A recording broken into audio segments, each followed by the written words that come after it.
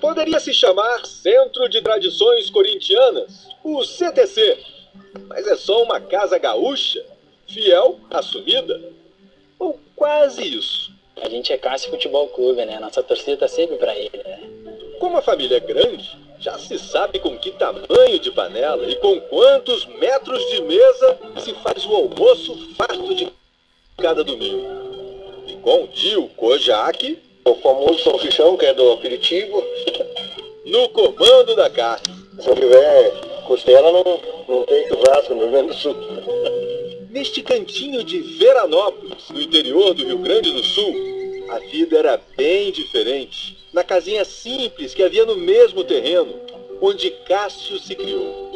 De repente ele vê o vizinho fazendo churrasco, sentir o cheiro e a gente não ter. Nós tinha a casinha, ela tinha dois cômodos. E o Cássio, que era maior, ele dormia na sala. Não tinha como ele caber na cama, então ele dormia no chão. Grande é pouco. Quem vê aquele baita homem de quase dois metros, não imagina que ali dentro tem um coração muito maior do que ele. O coração dele é gigante. Gigante. Porque mudou radicalmente as condições da família.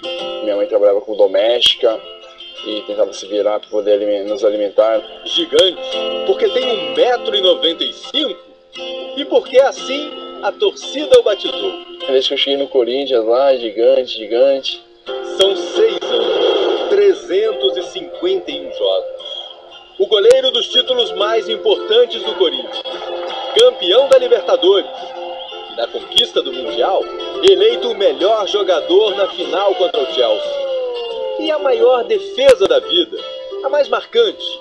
Eu acho que é o Diego Souza, né? Fez aquele milagre. Olha a chance do gol! Ficou na cara do Cássio, bateu!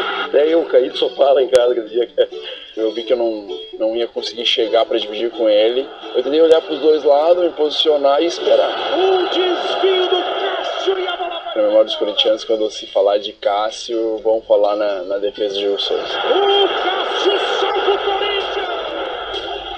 Ver o gigante voar assim, por cima, aos 30 anos, é constatar um sucesso além do esperado. Pra ser bem honesto, acho que nem nos melhores sonhos imaginaria. O início da carreira foi em Porto Alegre. Ele ficou dois anos no Grêmio só treinando, cara. Pensou em desistir. Era o quinto goleiro. Calma, cara, tua hora vai chegar, um dia a tua chance vai chegar. Aí passou de quinto para quarto, de quarto para terceiro, e foi indo. Foi para o PSV da Holanda. Passou quase cinco anos na Europa. Praticamente sem jogar. Conseguiu um contrato com o Corinthians. E a carreira, enfim, disse sim. Bateu! Cássio! Cássio nunca teve pai. E o Kojak foi o incentivo maior dele, sabe?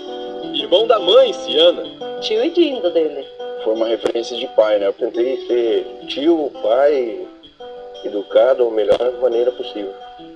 O fogo e a luz simbolizam a vida e a vela acesa, o agradecimento. O tio Kojak nunca passa muito tempo sem vir aqui à gruta de Nossa Senhora de Lourdes, em Veranópolis. Pode perguntar para o técnico da seleção se não é verdade. Vamos, vamos, chega! Ele pode dizer que foi o Tite quem ensinou. Vamos, gente, vamos! João Ramos, o Kojak, é o técnico dos veteranos do Veranópolis. A geração que nos anos 90 levou o clube à primeira divisão gaúcha. O técnico era Adenor Bach, o Tite, e com Kojak na comissão técnica. Eu era massagista, né? Daí eu ia levar o Cássio sempre estava junto. Olha só o que, que é, né? O destino, né? Sim, Kojak, o menino de Veranópolis foi ser campeão com o Tite no Corinthians. E a parceria continua em verde e amarelo. Deus reservou algo muito especial para ele.